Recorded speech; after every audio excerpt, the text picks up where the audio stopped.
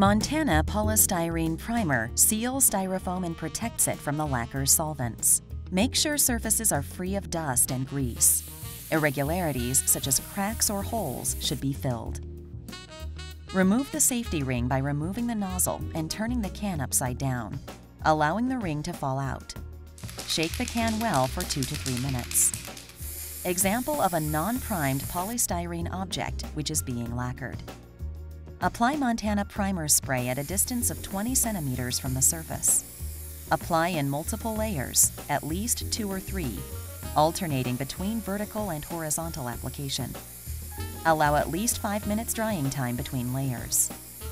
Use 5 coats in order to seal holes in coarsely textured polystyrene. Please ensure that foam surface is completely sealed and all air pockets closed. This can be achieved by applying multiple thin, even coats. Open air pockets may lead to paint solvents agitating the foam. Can be coated with acrylic, synthetic resin, or nitro combi lacquers after approximately 3 hours. Montana Polystyrene Primer. Highest quality made in Germany.